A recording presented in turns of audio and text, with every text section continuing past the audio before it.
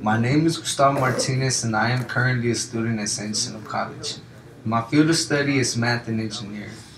My dream job will be to work for NASA, perhaps as an aerospace engineer or in the medical field as a biomedical engineer. To do that, it will mean I will have to be good in math. I love math, but there were some things standing in the way. I understood the concept of math and I like to work on logarithm problems, for example. And sometimes when it was test times, I would go blank. So I made a D in math my first semester in college. Fortunately, I had a professor, Nate Wiggins, who really cared and encouraged me to take tutoring and take a summer class.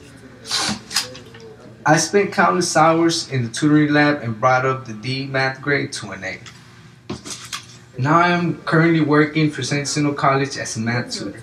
I will soon earn an associate's degree in math from San Jac and then will transfer to the University of Houston or to the University of Texas in Austin to earn a bachelor's degree and a master's degree in mathematics or engineering. It took a lot of work to go from being a struggling math student to being a tutor to help other students, but the hard work is beginning to finally pay off. I was a real mess up in high school. I was kicked out of school in the ninth grade over regretful mistakes. I started to realize I needed to get serious about my life and education. Now that I am in college, I realize I am on my own.